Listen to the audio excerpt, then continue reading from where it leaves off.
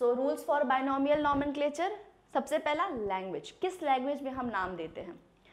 आपको पता है, जो लैंग्वेज हम हर रोज़ यूज़ करते हैं, जैसे आप हिंदी ले लें या इंग्लिश ले लें तो हमें पता है कि जैसे जैसे हम उसे बोलते हैं ओवर द टाइम हम उस लैंग्वेज में मॉडिफिकेशन कर देते हैं। कितने सारे स्लैंग वर्ड आ गए हैं, कितने सारे हम वर्ड को अलग अलग तरीके से बोलते हैं ना? तो क्या आप चाहते हैं कि आप जिस चीज़ को नाम दें, वो हमेशा बदलता रहे? ऐसा हो? तो you do not want that right तो हम ऐसा लैंग्वेज यूज़ करते हैं जो अब लोग ज़्यादा नहीं यूज़ करते, जैसे कि लैटिन लैटिन एक बहुत पुराना लैंग्वेज है और अब उसे रेगुलरली यूज़ नहीं किया जाता। ऐसा कोई भी लैंग्वेज जो एक टाइम पे यूज़ किया जाता था, लेकिन अब उसके यूसेज बहुत कम टू द मिनिमम या नेग्लेजिबल हो गया है, ऐसे लैंग्वेज को हम कहते हैं डेड लैंग्वेज तो जो साइंटिफिक नेम है it is given in the dead language that is Latin only Latin okay so the name is given in the first rule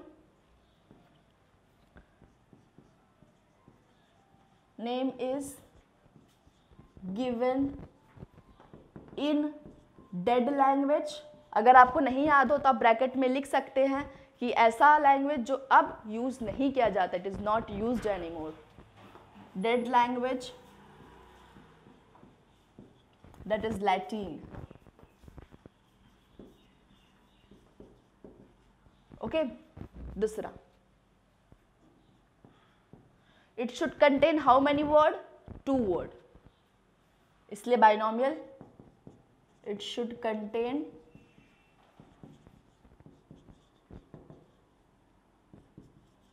two word example जब तक हम एग्ज़ाम्पल नहीं लेंगे, तब तक समझ में नहीं आएगा। तो एज मैंने पहले आम बोला था तो हम आम ही को ले लेते हैं।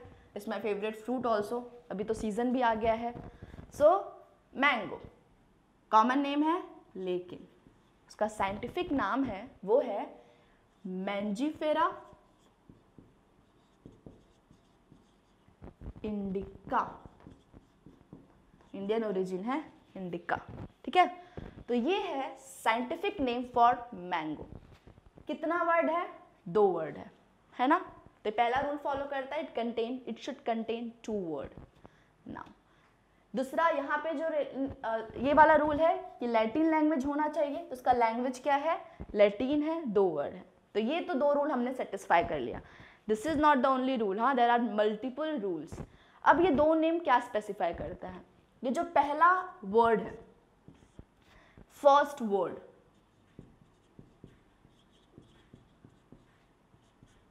implies genus generic नाम है। क्या है? इट इज़ जेनेरिक ना, name. Generic name represent genus. अब जीनस क्या है? ये एक टेक्सोनॉमिकल हायरार्की है। वो हम थोड़ी देर बाद जब हम टेक्सोनॉमिक हायरार्की पढ़ेंगे, तब उसमें हम देख लेंगे। फ़िलहाल आप ये नाम और सरनेम के हिसाब से पढ़ सकते हैं। तो ये जिस कैटेगरी में बिलोंग करता है, वो ये रिप्रेजेंट करता है। ठीक है, आप जिस कम्युनिटी में बिलोंग करता है, आप ऐसा कह सकते हैं। तो this is generic name represent genus indica जो है, वो स्पीसीज एपिथेट है। मतलब कि एक्चुअल नाम जो है, जैसे कि मेरा नाम शिवांगी है, किसी का राज है, राज या एक्स वाई जेड जो भी नाम है तो वो ये है। तो this is second name second word जो है, वो रिप्रेजेंट करता है species epithet it's very important मैं इसको स्टार मार्क कर देती हूँ, आपको पता होना चाहिए।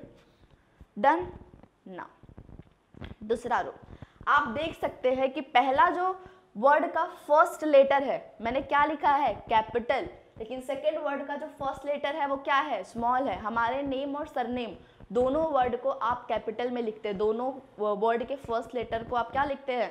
कैपिटल बट यहाँ पे, इसके में, अभी मैं यहाँ पे जो भी लिखूँगी वो जेनरिक का होगा एंड यहाँ पे जो भी लिखूँगी वो स्पीसीज एपिथेट का होगा. तो फ़र्स्ट ये रूल है, आपको याद होना चाहिए।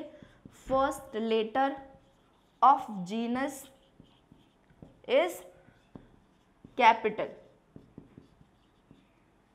ठीक है? और यहाँ पे क्या है? As you can see it is small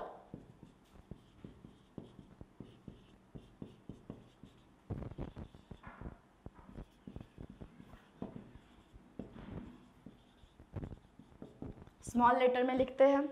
next जब आप इसे कंप्यूटर में टाइप करते हैं, आप कोई फ़ाइल बना रहे होते हैं, उस वक्त जो आप जो आप लैंग्वेज यूज़ करेंगे, जैसे कि टाइम स्टोमन होता है, या ऐसे, तब हम इटैलिक फॉन्ट यूज़ करते हैं। क्या यूज़ करते हैं? इटैलिक तो when typed when typed sorry it will be which E N कौन सा फॉन्ट इटैलिक फॉन्ट या italicised italic font this italicized. Okay? But जब hand this is for both of them इसके लिए भी सेम लेकिन जब ये हैंड रिटर्न होता है वेन हैंड रिटन क्योंकि आप अब इटैलिक फॉन्ट तो आ, लिखते वक्त तो यूज़ नहीं कर सकते हैं तब यहाँ पे हम क्या करते हैं? हम उसे अंडरलाइन करते हैं but separately it's very important जब आप हाथ से लिखेंगे तो आप क्या करेंगे? इससे अंडरलाइन करेंगे. बट कैसा अंडरलाइन आप पूरा इसको यहाँ से लेके ऐसा जोड़ नहीं देंगे. इट विल बी रॉन्ग आप क्या करेंगे? आप इसे सेपरेटली अंडरलाइन करेंगे. दोनों वर्ड को अलग अलग so when hand written it is underlined separately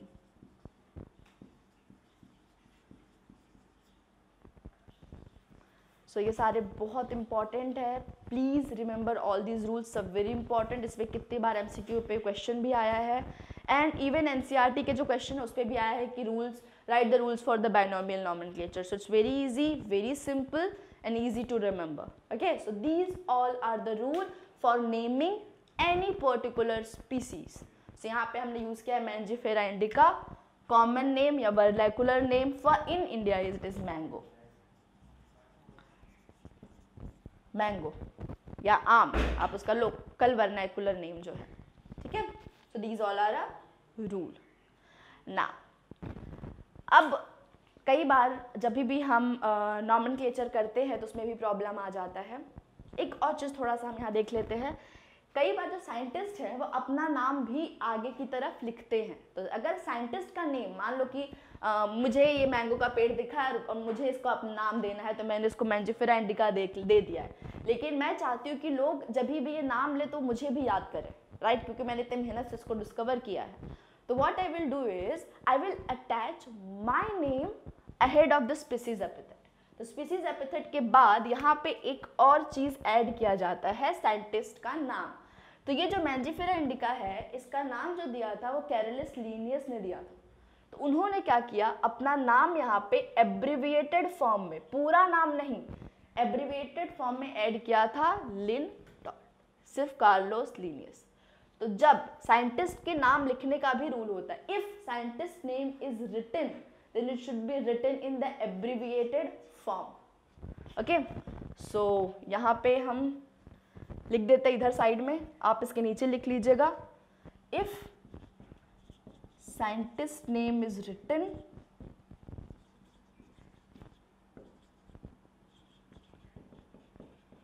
then first letter क्या है? First letter of word should be capital क्योंकि नाम है of course word should be capital and form कैसा होना चाहिए? It should be in abbreviated form abbreviated मतलब short form पूरा पूरा नाम नहीं लिखना है. Abbreviated form so this is the rule very important for scientist का. So I hope I am clear with this okay so now अभी हम क्या पढ़ेंगे? कि कैसे जो प्रॉब्लम्स अराइज होता है नेमिंग के वक्त. क्या क्या प्रॉब्लम अराइज होता है? जैसे कि to as I said there are रफली 254 कंट्री एग्जैक्ट नंबर मुझे अभी नहीं याद आ रहा है तो हम इतना मान के चलते हैं। तो काफ़ी world is very large right तो हर इंसान हर जगह पे जा नहीं सकता है। तो मान लो कि किसी चीज़ पे एक पर्टिकुलर एक्स स्पीसीज है, उस पर इंडिया में भी रिसर्च चल रहा है और ऑस्ट्रेलिया में भी रिसर्च चल रहा है। अब ऑस्ट्रेलियंस आर नॉट अवेयर कि we are also doing research तो हमने उस पर अपना नाम दे दिया और उन्होंने उस पर अपना नाम दे दिया। मान लो हमने जो नाम दिया है, वो हमने एक दिन पहले दे दिया कि ले जैसे मैं मैंजीफेरा इंडिका का नाम देती हूँ। मैंने मैंगो का जो नाम दिया है, वो मैंजीफेरा इंडिका दे दिया है, लेकिन उसी वक्त ऑस्ट्रेलिया में एक वीक के बाद उसका नाम उन्होंने मैंजीफेरा लेटस या कुछ ऐसे एक्स वाई जेड नाम दे दिया है। तो जब दोनों बोटेनिकल कम्युनिटी के पास गए आईसीबीएन के पास गए कि ये ये नाम हमारा, ये रिसर्च है तो अब ये क्वेश्चन आता है कि किसका नाम हम कंसिडर करें? दोनों ने रिसर्च किया है, दोनों का नाम सही है, दोनों ने सही सब फॉलो रूल्स किया है but now which name should be considered अब हम दोनों कंट्री को तो एंगर नहीं कर सकते, हैं ना? दोनों कंट्री है इंपॉर्टेंट कंट्रीज़ हैं, और they play a very important role in the global world also so here यहाँ पे ये बात आ जाती है कि आप किसी को नाराज़ नहीं करना चाहते। है ना? तो इसका भी एक सोल्यूशन है। यहाँ पे बिना किसी को uh, बुरा you know without making other feel bad हमने ये कर दिया है first come first serve basis जैसे कि हम क्लास में जाते हैं तो आगे के बेंच पे जो भी पहले आ जाए वो बैठ जाता है। बाकी बेचारों को पीछे बैठना पड़ता है क्योंकि ऑलरेडी आगे की बेंच पहले ही ऑक्यूपाई हो चुकी है। तो जिस कंट्री ने वो नेम पहले दिया है हम उसको कंसिडर करते हैं ठीक है? और इस सिचुएशन को आ, बोलते हैं synonym so this is known as synonym जैसे कि हम, मेरा नाम और मेरा पेट नेम ठीक है? तो अब यहाँ पे हम क्या करते हैं? क्योंकि मैंने कहा ना कि दूसरे कंट्री को आप नाराज़ नहीं करना चाहते तो जिसने पहला नाम दिया है, उसको हम एक्चुअली नेम कंसिडर करते हैं. और जो दूसरा वाला नाम है, उसको हम पेट नेम की तरह का सिनोनिम यूज़ कर लेते हैं. ठीक है? So I hope I am clear so let's study that so now synonym synonym synonym मतलब होता है, चलो, क्या होता है? जब one organism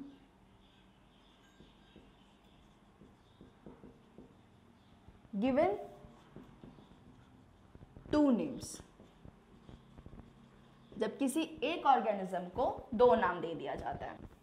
so for example late जिस से हम यहाँ पे फंगाई का फंगाई वाइट रस्ट ठीक है? कौन सा फंगा है? वाइट रस्ट इसका एक कॉमन नाम है।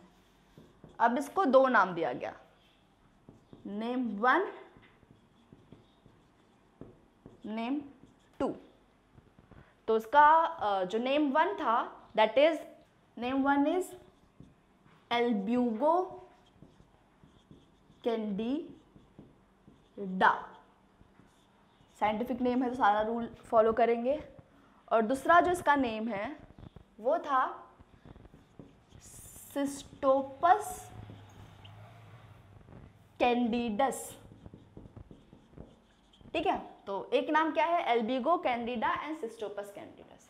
अभी दोनों नाम किसका है? वाइट ट्रस्ट का है।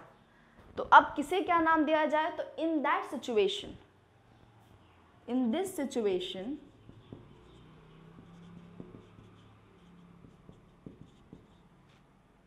name which was given first.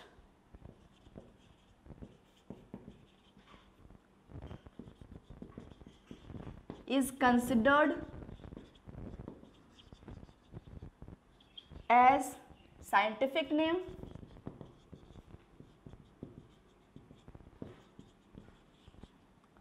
While other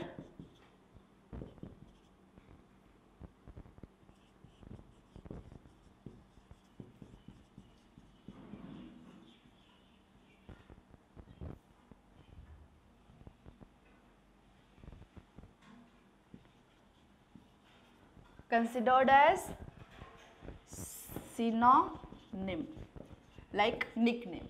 तो एल्बिगो कैंडिडा क्या हो गया? साइंटिफिक नेम क्योंकि पहले दिया था। और ये क्या हो गया? Synonym so this is known as synonym जब भी किसी एक ऑर्गेनिज्म को दो नाम दिया जाता है तो हम पहले वाले को साइंटिफिक नेम बोल देते हैं, और जो दूसरा वाला है, उसे क्या कहते हैं? सिनोनिम अब यहाँ पे एक और केस आता है। मान लीजिए किसी एक ऑर्गेनिज्म को, या सॉरी यहाँ पे एक ऑर्गेनिज्म को दो नाम दिया है राइट हम क्या करते हैं, किसी दो ऑर्गेनिज्म को एक ही नाम दे देते हैं। मान लो ये दूसरा केस भी आ सकता है ना, कि भाई ऑर्गेनिज्म तो सेम है। सॉरी नाम तो सेम है बट ऑर्गेनिज्म कितना है? दो। तो उसमें क्या किया जाए? तो वहाँ पे जो नेक्स्ट नाम आएगा वो आ जाएगा ऑटोनिम क्या कहेंगे? Autonym Okay, so now we will be studying about homonym.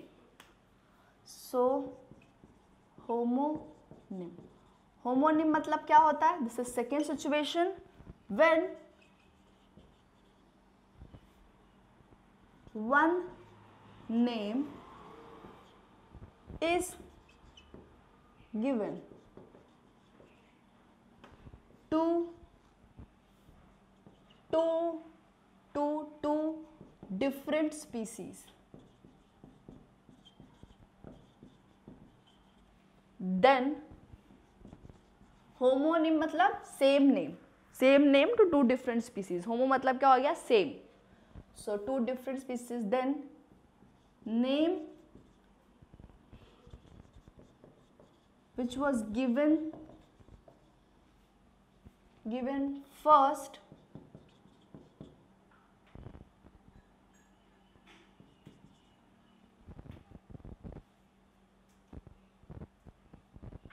to species is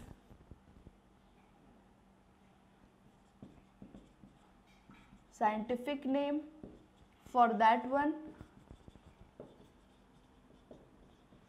while other species is renamed other species is rename दूसरे वाले को दूसरा नाम दिया जाता है इसका एक है almond and plum Prunus example है इसका. प्रूनस डल्सिस प्रूनस डल्सिस जो है, वो साइंटिफिक नाम एलमंड और प्लम दोनों को दिया गया था। लेकिन पहले किसको दिया गया था? अलमंड को। तो अब ये वाला जो नाम है एलमंड के लिए तो यही रखा गया। प्रूनस डिल्सिस क्योंकि इसको पहले दिया गया था। लेकिन ये जो प्लम है it was renamed at Prunus domesticus क्या नाम रखा गया इसका? प्रूनस डोमेस्टिकस ठीक है? तो this is the situation of homonym कि जब कोई भी एक नाम किसी दो स्पीसीज को दिया जाता है, तब हम उसे क्या कहते हैं? तो जो पहला नाम दिया गया है, इसे पहले दे दिया गया था तो उसके लिए वो नाम कंसिडर किया जाता है, लेकिन दूसरे वालों के लिए दूसरा अलग नाम दिया जाता है renaming and that is known as homonym okay now there is third situation अब थर्ड सिचुएशन क्या है? थर्ड सिचुएशन थोड़ा सा अलग है। जैसे कि हमने देखा कि साइंटिफिक नेम में दो वर्ड होते हैं, एक जेनेरिक नेम और एक क्या होता है? स्पीसीज एपिथेट कई बार क्या होता है कि एक ऑर्गेनिज्म का जेनेरिक नेम और स्पीसीज एपिथेट दोनों ही क्या हो जाता है? सेम एंड तब उसे बोलते हैं टॉटोनिम टॉटोमराइजेशन जैसे आप केमिस्ट्री में पढ़ते हैं। तो that is known as tautonym okay तो where species and generic name both are the same third situation is tautonym so tautonym this is second situation third situation जहाँ पे साइंटिफिक नेम ऑफ़ ऑर्गेनिज्म इसका generic name और species epithet दोनों क्या है? Same word से बना होता है। जैसे कि एग्ज़ाम्पल हम लेते हैं। गोरिल्ला या विल टेक कोबरा कोबरा जो है, ये कॉमन नाम है। इसका जो साइंटिफिक नाम है, उसमें दो वर्ड है। लेकिन दोनों वर्ड क्या है? सेम है। इट इज़ नाजा नाजा दिखा? तो जेनेरिक नेम और स्पीसीज एपिथेट क्या है? सेम है। एक और है example Gazella gazella back black buck तो black buck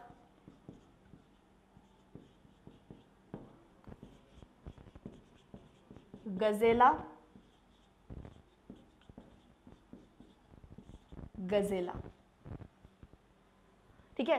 So these all are example और कई सारे हैं, जैसे रैट का Rattus Rattus Rattus Rattus Bufo Bufo Bubo Bubo ऐसे आप क्रो का जैसे है, टोड का जो है वैसा there are different name for toad also like Bubo bubo. ठीक है? सॉरी यहाँ पे it will be in the small ratus ratus Bubo bubo so there are different tautonym एक और सिचुएशन है autonym now next situation is autonym जहाँ पे एक ऑर्गेनिज्म को तीन वर्ड दिया है। क्या दिया है? तीन word so let's see the autonym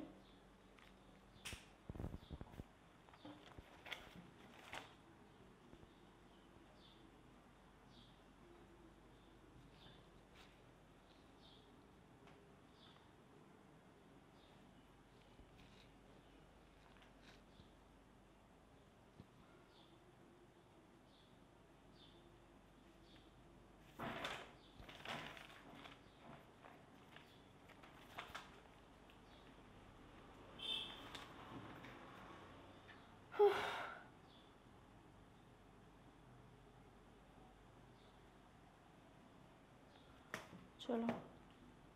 With same species epithet and subspecies और varieties called autonym okay in the tautonym here it will be Naja naja and this will be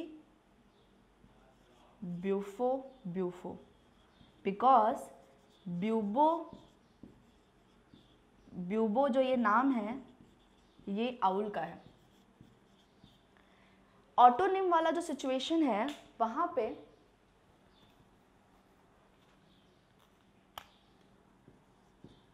fourth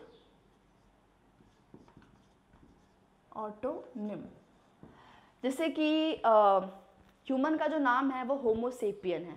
तो यहाँ पे जेनरिक नेम और species name क्या है? बिल्कुल अलग है। लेकिन ह्यूमन का जो नाम है, वो होमोसेपियन सेपियन है। यहाँ पे जो थर्ड वर्ड जो आ रहा है उसे हम वेराइटी कहते हैं। तो जब कभी भी किसी भी ऑर्गेनिज्म का स्पीसीज नाम और थर्ड वर्ड जिसे सब स्पीसीज कहते हैं या वेराइटी कहते हैं सेम होता है, तब उसे क्या कहते हैं? Autonym so when organism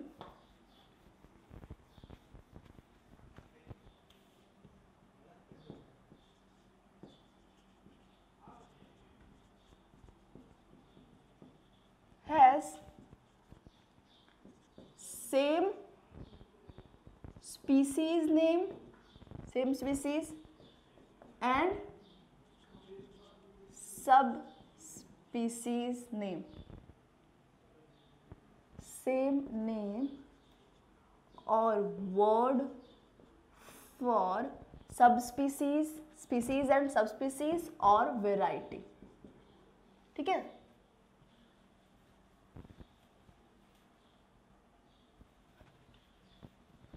इसका एग्ज़ाम्पल ह्यूमन का साइंटिफिक नाम है होमो सेपियन सेपियन तो ये क्या हो गया? स्पीसीज नेम एंड ये क्या हो गया? सब स्पीसीज ठीक है? दूसरा एग्जांपल है Gorilla gorilla Gorilla gorilla gorilla gorilla ठीक है so this all are the situation with the examples thank you